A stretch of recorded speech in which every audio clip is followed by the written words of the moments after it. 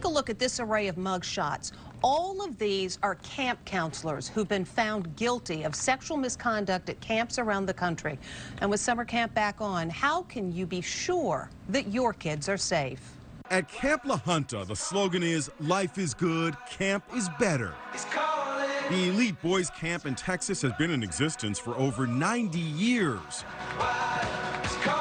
But what this youngster says happened to him inside cabin six at Camp La Junta will break your heart. I've never told anybody. In video provided to Inside Edition by the 11 year old's parents, the youngster tells a forensic psychologist that he was touched inappropriately by a 20 year old camp counselor. Crime Stoppers of Houston CEO Rania Mankarious says it's a disturbing scandal that some compare to the Boy Scouts scandal. We've found over a thousand victims of sexual assault, just sexual assault, at camps across the country spanning over the last 10 to 15 years. An Inside Edition investigation discovered all these counselors who were found guilty of sexual misconduct offenses at camps across the country.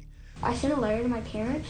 The camper wrote this letter to his parents, hinting at issues that are difficult for youngsters to talk about. It is not fun anymore. You won't believe this. I had to take a shower six times as punishments that were not fair. I want to go home. P.S. Please do something.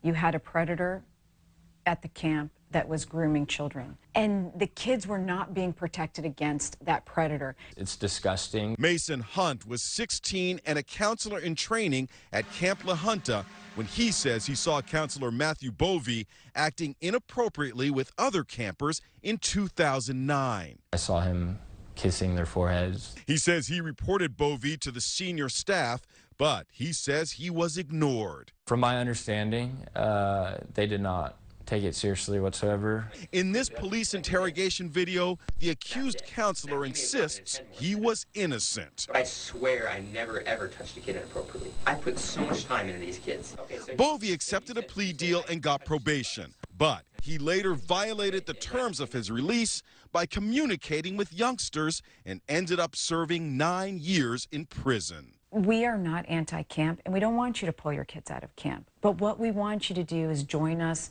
in the conversation. Be frontline activists for the safety of your children. Ask questions. Without admitting any wrongdoing, Camp La Junta settled a lawsuit filed by the boys' family. In a statement, the camp says the incident was heartbreaking and has motivated them to implement new methods for preventing abuse.